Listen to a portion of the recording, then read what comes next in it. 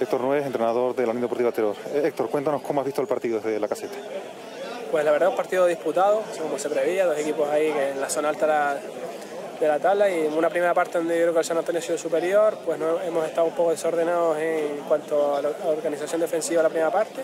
Yo creo que la segunda parte sí hemos estado mejor en la presión, con balón también. Yo creo que el, resultado justo yo creo que hoy debería haber sido un empate, pero bueno, el 0-1 también en la primera parte de hecho mérito a San Antonio.